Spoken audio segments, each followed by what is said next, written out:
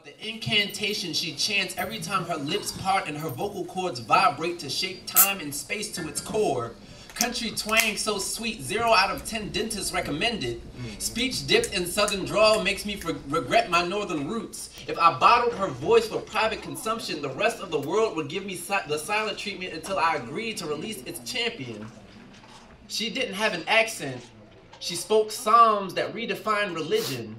Gave you a glimpse of her ancestry with each breath, transformed plain English into angelic whispers with each passage through ear canals. Conversations with her hold more magic than a Harry Potter novel written by Houdini, printing on dragon scales, and written by and narrated by Morgan Freeman.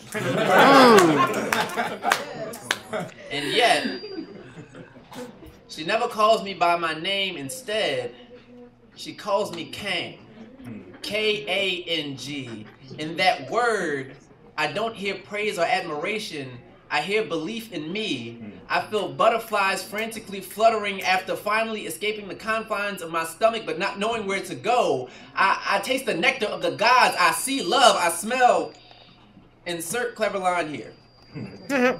Hearing her speak is like being present for your child's first solo in the church choir. Heaven put a spotlight on her.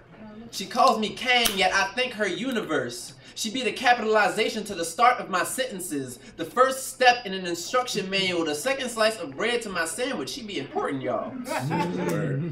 She makes up the white and gray matter in my mind because she's all that matters and is the underlying topic of every conversation that I have. She calls me Kang, yet I think her everything. Mm. They say men fall in love with what they see. So does it count if I say that I saw life the first time I caught her speech?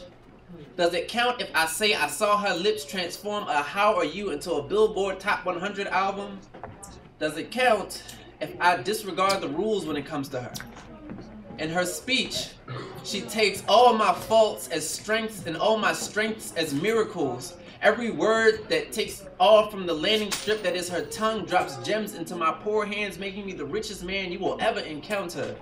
She calls me Kang, and when she calls, I answer. Mm. Thank you.